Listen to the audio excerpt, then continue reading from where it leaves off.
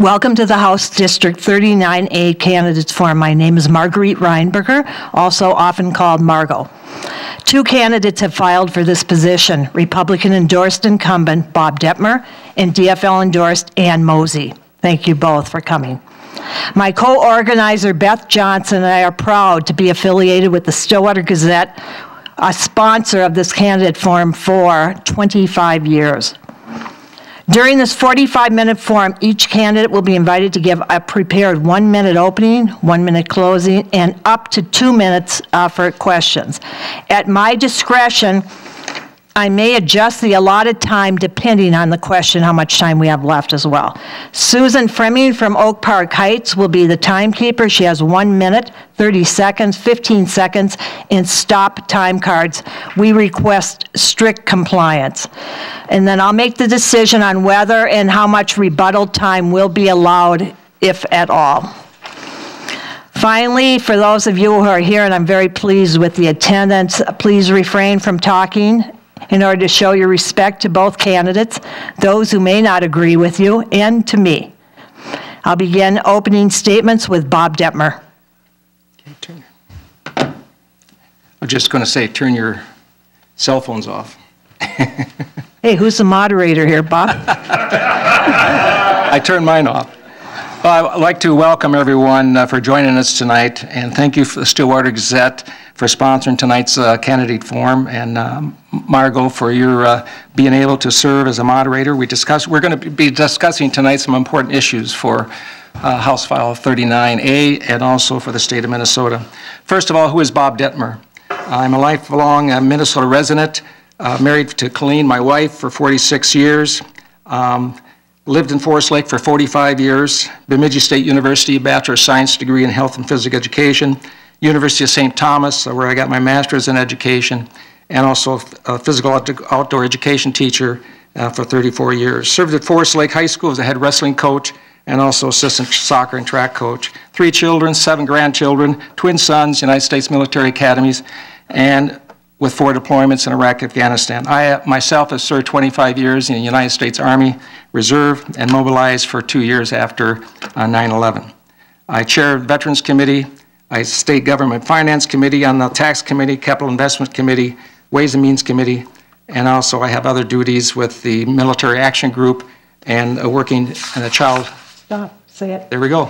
Yeah, strict compliance, you can yell, because I can too. Okay, Anne, please. Thank you. My name's Ann Mosey, and it was a pleasure to greet everyone in the room. I, many of you have helped, and thank you for that.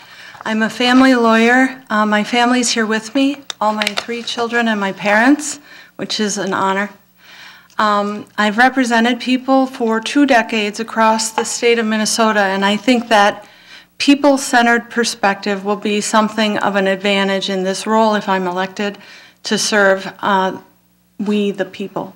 Um, I have a BA, an MA, and a JD. I won't go into the details. You can check my website at moseyinthehouse.com. Um, I am truly someone who has made a career out of helping the underdog, working for people who don't have a voice, for people who need help, for people who need to connect the dots in order to thrive in their lives.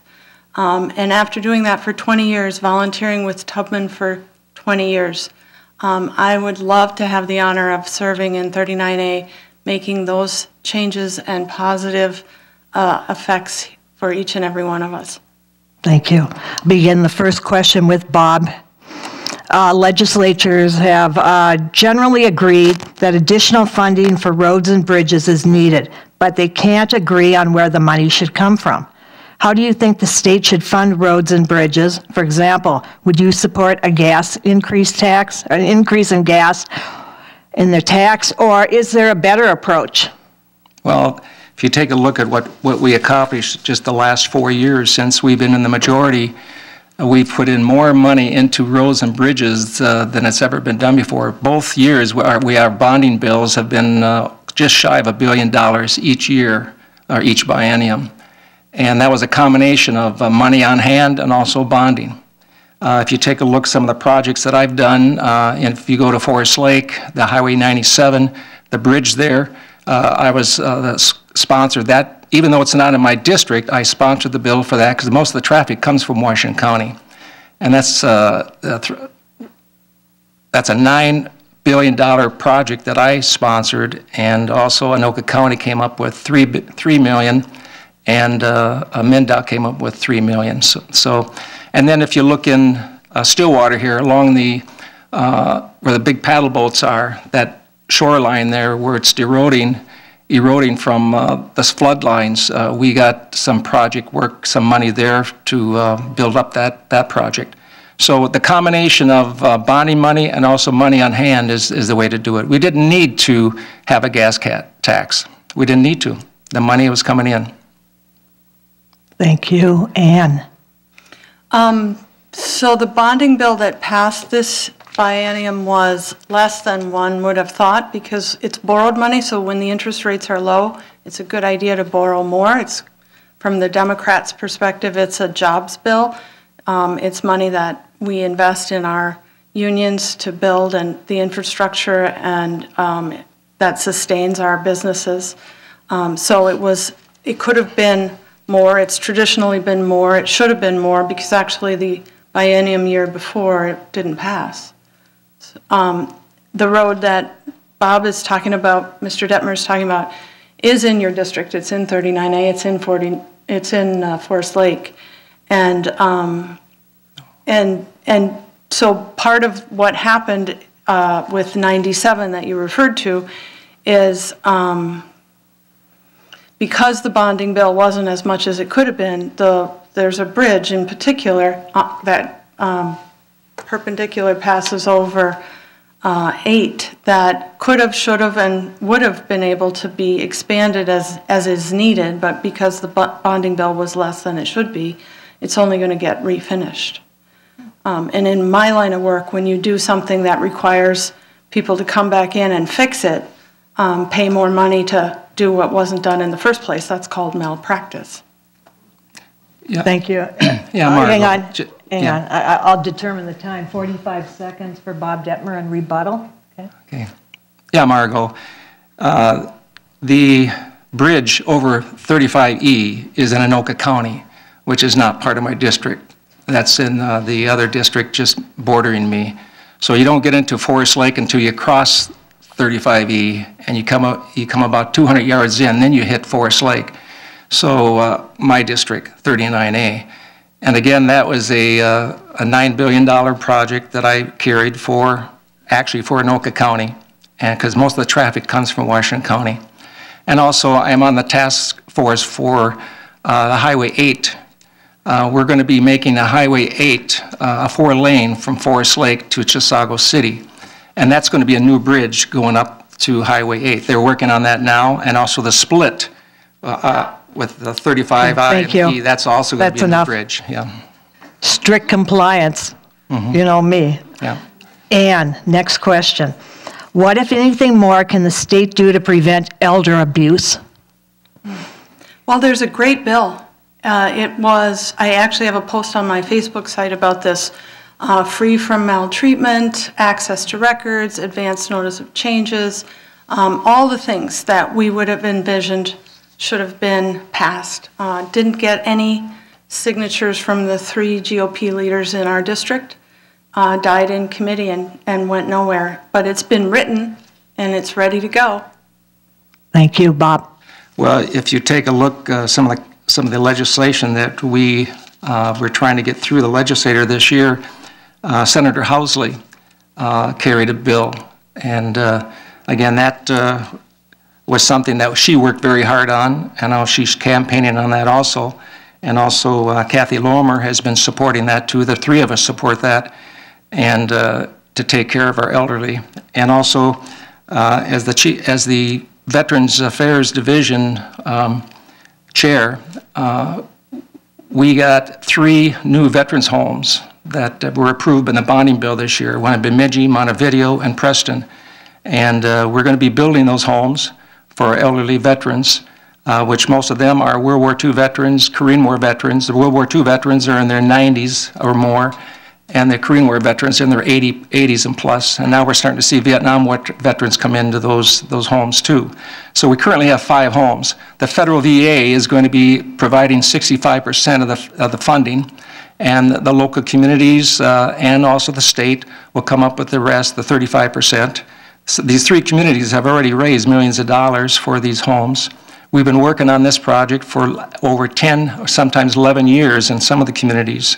So this is something that I think is very important for our veterans, uh, our elderly elderly veterans, and um, so we're looking forward to, uh, in the next couple of years, to uh, get those homes built.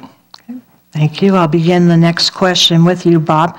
Um, Should Minnesota, like California, be a sanctuary state? If so, how do you suggest we fund it?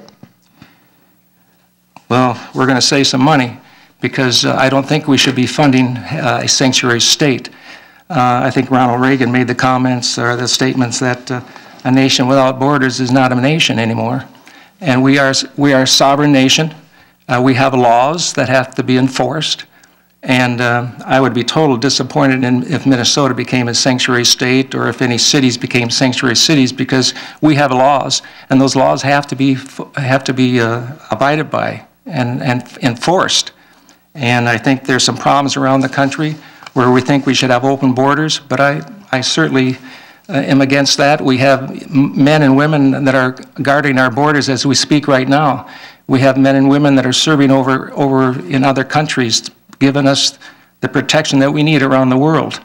So uh, we are a sovereign nation, and we need to keep it that way.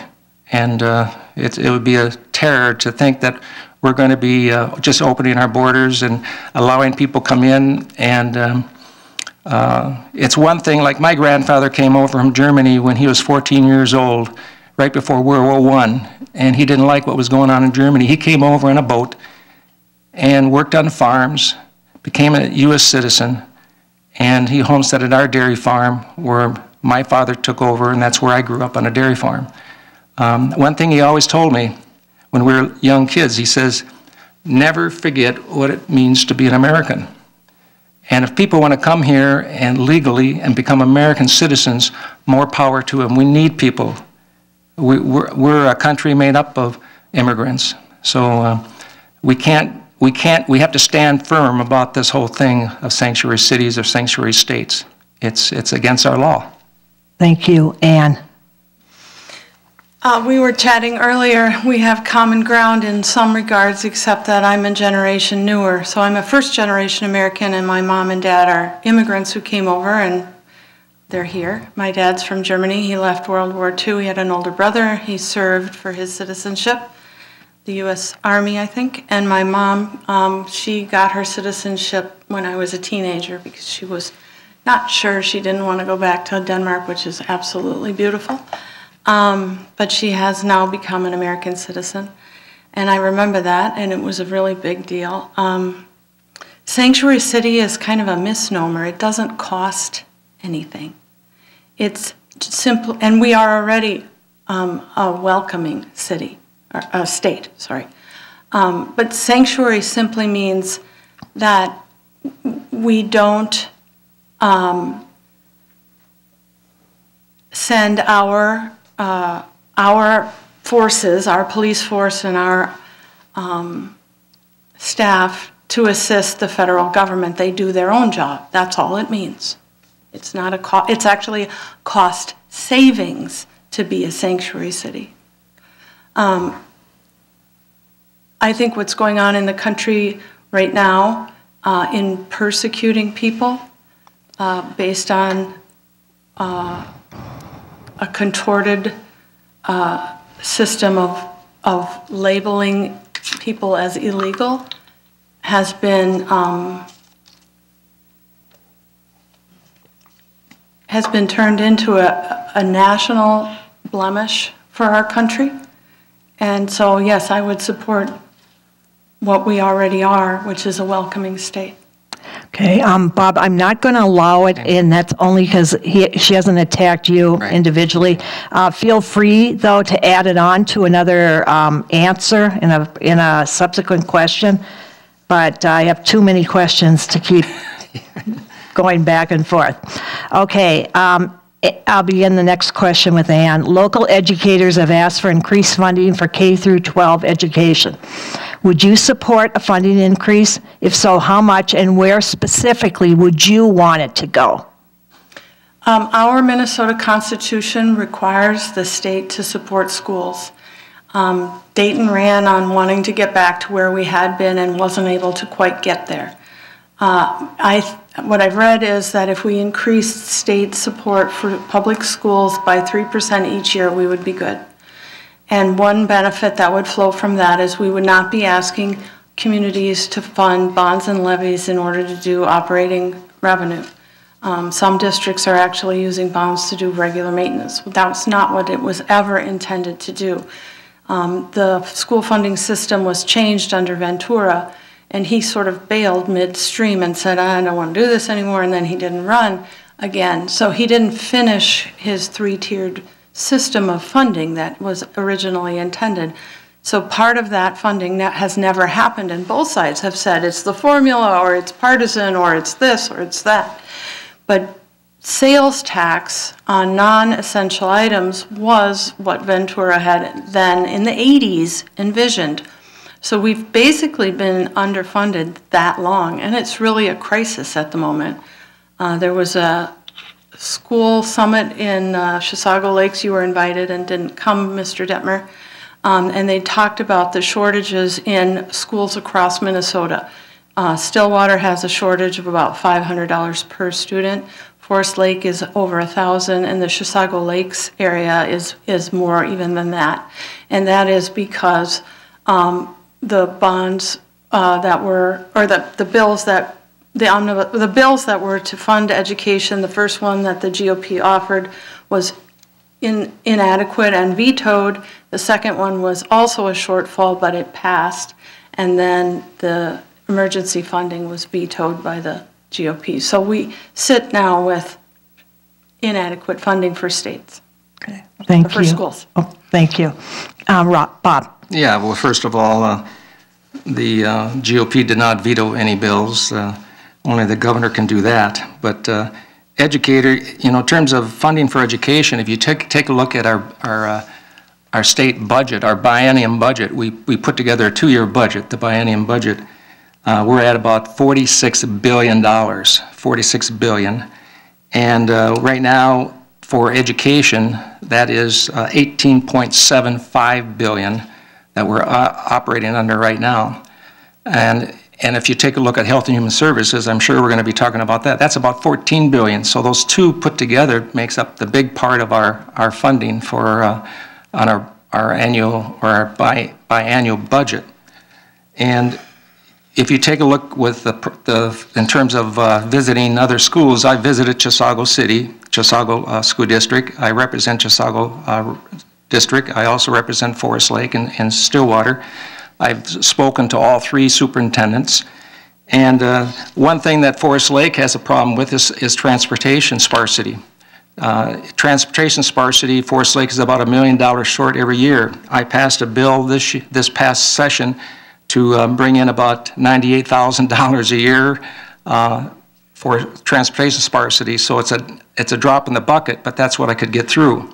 There's 65 school districts around the state that has a problem with deficits in transportation, because Forest Lake is so spread out, we, uh, uh, what the formula has to be changed, so it's not per pupil, it should be number of miles that the buses have to travel. So that's what I'm going to be working on this next session, is, is working on transportation sparsity. And uh, if you take a look, uh, Forest Lake, uh, this past uh, session, Forest Lake had almost a 5% increase, Stillwater about a 4% increase, and uh, Chisago City also had a little over 4% increase. So it's a 2, 2% uh, each year. Thank you. Thanks.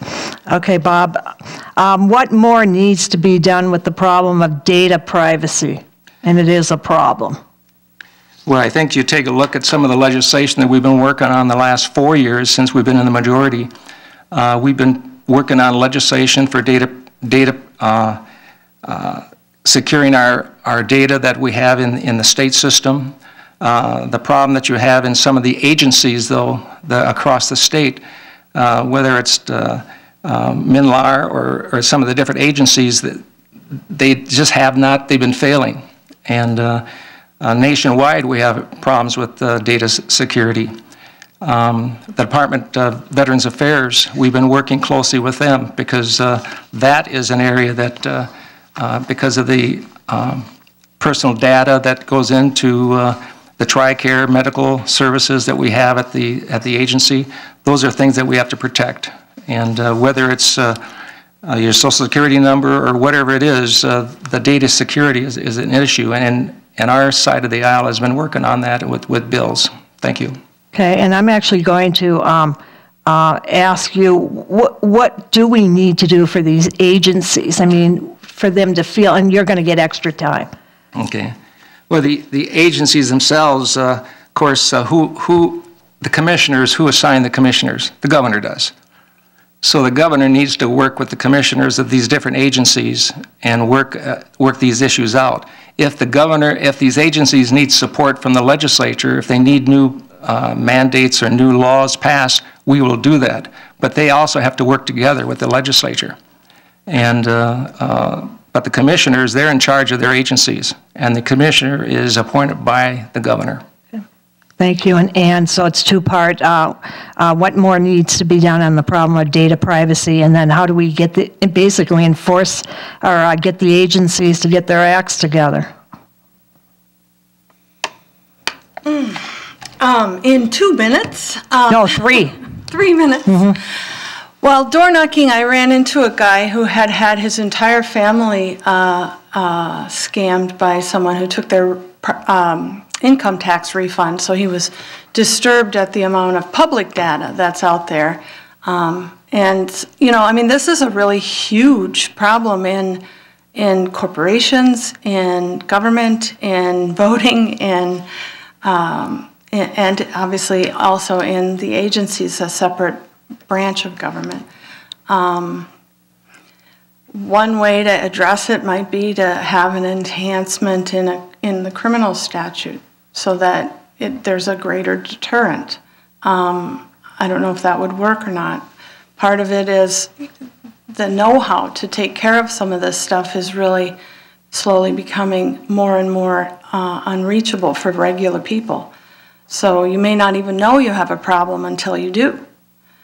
Um, And I don't have a, a magic wand to fix this, but I know it's a huge problem, and it hasn't been fixed, and it hasn't been addressed. Thank you. Ann, I'll begin the next one with you. What more, if anything, can be done to better protect our schools in the face of violence?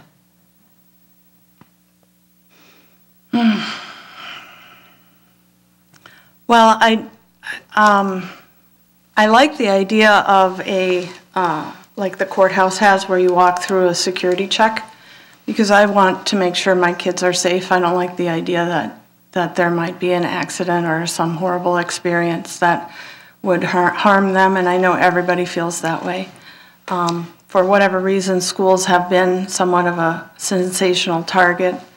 Um, It's maybe not the numbers don't quite match up. I understand that there was a investigative report, and it- we think there were over 200, and there were actually under 100, but it's still too many. Um, So I would, I would invest in some safe school protection. I think that, that is a good idea, and it is important. I also think it makes sense that when someone ignores a kid and doesn't help them and doesn't speak for them and notice what they're going through, that there should be some consequences there too. The situation in California, there were plenty of warning signs, and the school and the community and the family didn't speak up um, until it was just a horrific tragedy. I'm not blaming anyone, um, but one of the benefits of creating laws is creating incentives. So creating incentives for people to speak up, like the red flag laws, I like that idea a lot. Thank you. Bob? Well, if you take a look at some of the legislation that we passed this year, uh, we had 25 uh, million dollars in our bonding bill that we did get through for school security. so schools can make improvements, uh, security improvements and, uh, in their facilities. And also, we had another $25 million in the supplemental uh, bill that was uh, vetoed by the governor. And I just got a word that uh, there's going to be $36 million coming out for grants for schools in the state of Minnesota for mental health, mental health grants. So it's, a- it's a multiple issue here, and I think uh, right now, if you go walking into Forest Lake School, you have to show an ID, you have to push a button, a buzzer, and they'll, they'll let you in. And it's too bad that we have to come to that, but that's the way the world is right now. I think, um, I, I remember back in the day when I was teaching outdoor education, students had to uh, give a, a five-minute or five to 10-minute speech on an outdoor experience. And we had a lot of hunters and, uh, and trappers uh, in my classes, in the outdoor education classes, and uh, they came in with their, with their weapons, uh, to check them in with the principal, and they would show how to clean a weapon, how to reload shells, and so right in class. Uh, Do you think we'd be able to do that today? No, we wouldn't be able to do that today. And in fact, one student came in and had a video showing how he dressed out a deer and uh, explained the process and uh, his hunting gear and all that stuff. Um, And that's something that we, in fact, what is the fastest growing sport in, uh, with the Minnesota State High School League today? Is skeet shooting. Uh, It's a, it's a, it's a sport that's growing like wildfire in the state of Minnesota. But I think um, if you take a look at the amount of money that we put in for school security and safety, uh, that's a big, big push that we did this year. I know there was other bills out there that other people wanted us to do, but we felt that school security should be number one. And I think uh, if you ask most of your school districts, they feel the same way. Thank you. Thank you, and Bob, I'll begin the next question. While most states do not do this, should Minnesota continue to tax Social Security as income? Good question there. Uh, How many here are at that age, okay? Uh, We're starting to phase out the tax on Social Security. There's just a couple states that still have that tax. Uh, Just like it took me 10 years to get rid of the tax on uh, veterans' pensions, where there was only five states that still had that tax. It's easy to start a tax or to add a tax, but it's very difficult to get rid of a tax. So uh, I want to tell you for sure, if, uh, if we're back in the majority, both the House and Senate, and with the governor that will work with us, uh, we will phase out and get rid of that tax on Social Security. Um, I, I really believe that's going to happen. Uh, We feel that we have people on both sides of the aisle that's going to work on that. Uh, I think old age does not, does not uh, attack just one, uh, one party. Old age attacks us all. And uh, I think those that are living on a, on a- on an income, on just Social Security, those are some issues that we really need to look at. And I really believe that uh, we'll probably get into some other discussions about tax, but uh, if you're, if you're looking at somebody who's living on a, on a single income like that, um, it's divided up with your, your housing, your food, medical care, and so forth. Why should we, we be taxing that income on Social Security where you've already paid, paid tax on it? So I think, uh, I think eventually in the next couple of years, for, or um, Minnesota will, will be part of those states that will be getting rid of that tax on Social Security. Thank you. Thank you, and Ann.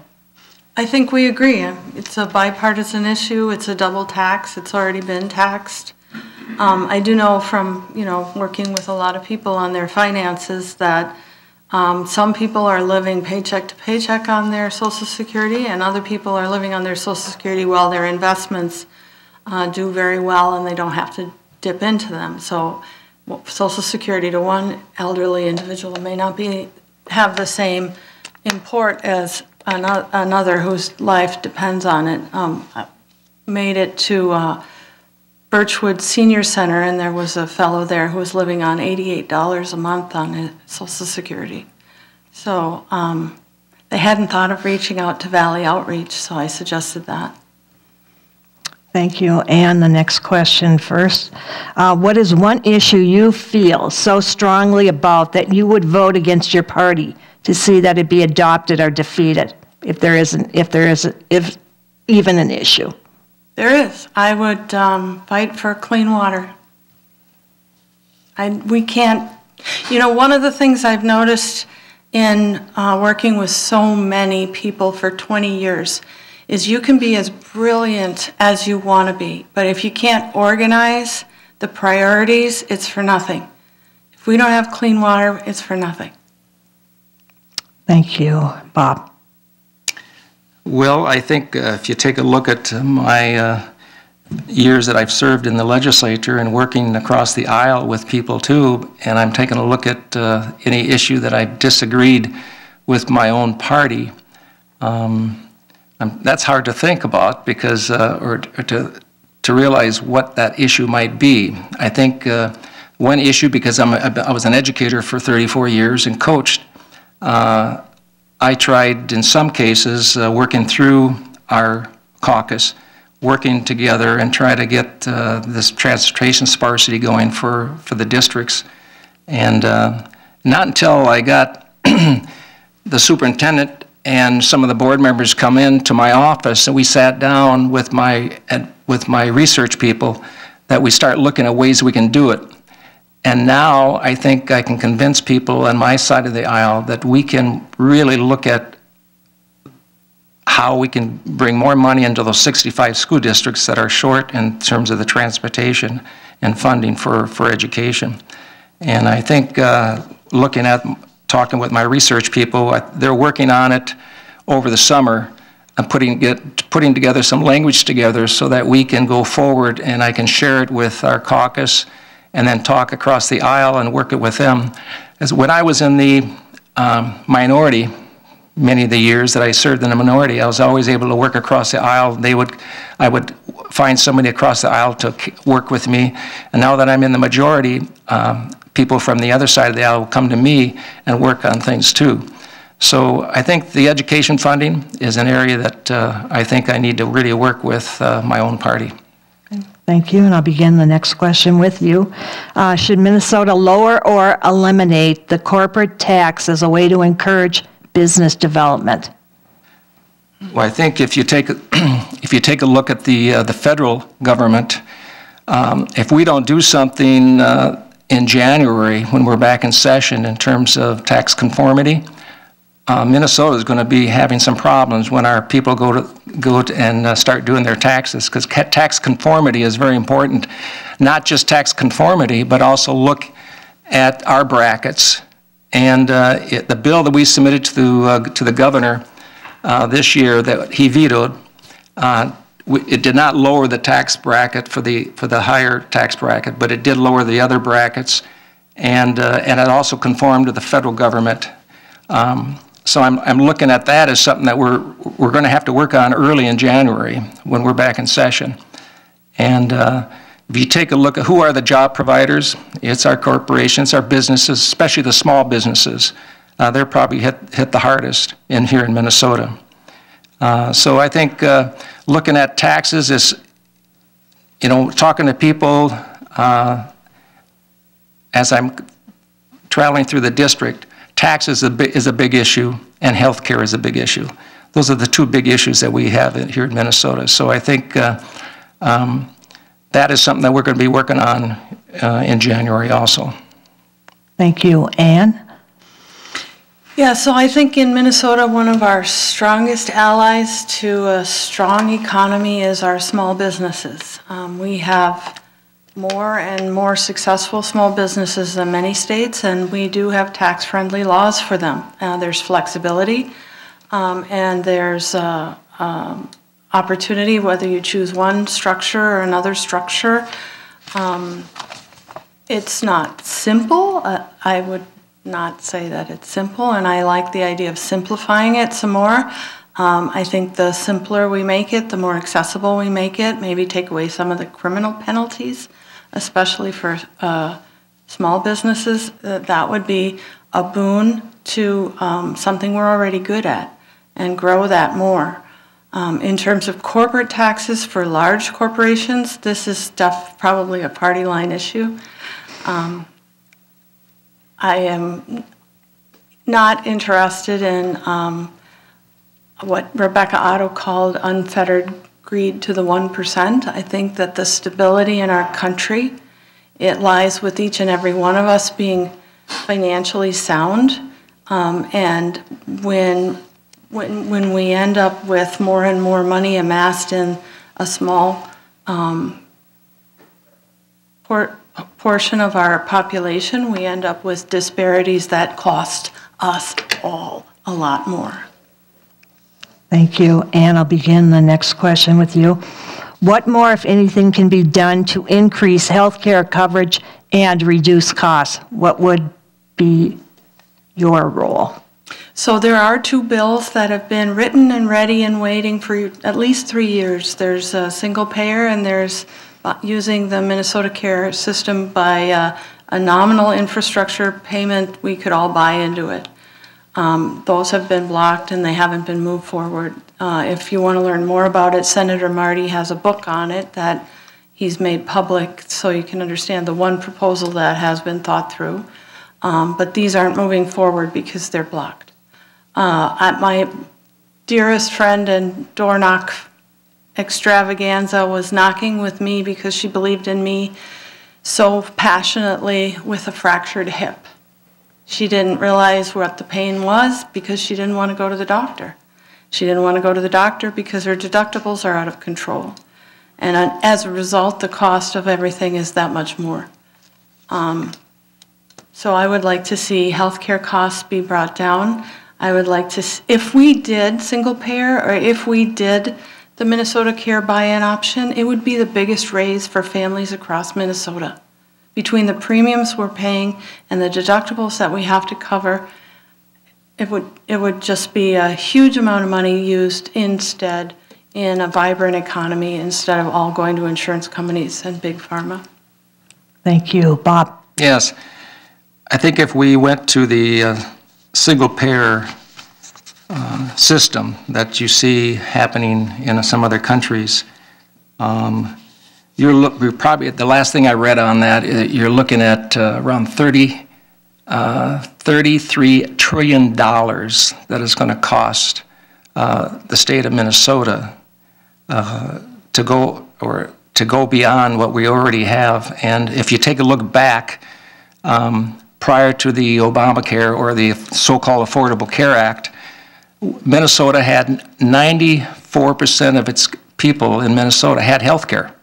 We had health care, and we could, uh, but we needed to do something to lower the cost of it. That 6% that didn't have health care, um, many of those were young people that uh, just were in college, they just didn't want to spend the money on, on, uh, health, on health insurance. Then we had a small group that uh, instead of going to the county, because we had a program, uh, Minnesota Care, we had a program set up for them in the county. All, instead of going to the county, they went to the emergency room, which is expensive. So healthcare is a big issue, as I mentioned before, uh, here in Minnesota. And I think if we bring back a strong individual market and make that, when you buy a, some health care, uh, health insurance, it should be your policy. It should not just be your with your employer. So when you change employers, it should travel around with you. And then you negotiate with your employer how much they would like to pay into it. And it should be like cafeteria style. I don't need the same coverage as my wife needs, and vice versa. So that can lower the cost. You can also open up the, the boundaries of the state and allow any company to come in here and sell health insurance. That's important because competition will lower the cost. And also tort reform, some of the law, uh, lawsuits that our doctors are faced with, um, that is passed on to, to the patients. So uh, thank you. Thank you. Um, Our final question for the night, Bob. Uh, What are two priorities in your district that you are absolutely adamant on seeking? Okay, well, good. Two priorities. Uh, Number one uh, is the transportation issues that we have in, in the northern part of Washington County and also the southern uh, part of Chisago County. Uh, Those roads and bridges, if, uh, if you've uh, tried to go up to Duluth, I tell people, well, as you, when you get to Hugo, get, move over to 61, then go north, and uh, when you get up to Wyoming or North Branch, and then head, head back on to 35. Uh, we need to work our infrastructure is so important, and uh, so that's a priority for me.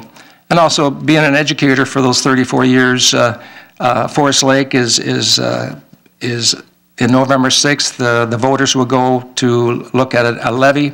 I, I, I met with uh, Steve Massey, the superintendent, Uh, In fact, the superintendent before Steve uh, was Linda Madsen. Uh, She was a student of mine when she was in high school. And I sat down with both of them when they were, uh, and I said, one thing we need to do in public education is talk about all the positive things that we do, because if something negative happens, it always makes the, makes the press. And so I told Steve when we met, um, and he came up to my office a couple times. We sat down and chatted, and I said, one thing uh, that people don't understand in public education is that uh, bonding is for bricks and mortar, levy is for operational cost, and you need to get that word out to the people. And I did uh, submit a letter of support to the superintendent. He's going to put it on the on their Facebook or on their website. But I think I'm also, I so- I- I'm also encouraged what's going on with our charter schools, and also I'm encouraged with the private schools, the Catholic schools that we have, and also homeschooling. I was a guest speaker at the homeschool graduation this year, and they have 200-some students in, in this homeschooling program. They had 18 graduates this year. And uh, one of our charter schools, LILA in Forest Lake, has 1,000 students in it, and the, the other uh, charter school has uh, uh, 500 students. Thank you. Thank you. Anne. Um, so the primary issue that I would like to address for this community would be education funding. It has been inadequate for too long. It is not supposed to fall on the backs of levies and bonds. And if we increase it, instead of, it was not that the um, GOP vetoed the governor, it was that the governor begged the GOP to please pass emergency funding. It would have been $126 per student so that we wouldn't feel the pressure of the bill that did pass in this next academic year. Um, For Forest Lake, it would have been half their deficit. Uh, And so that's what I meant, that that the GOP refused to do.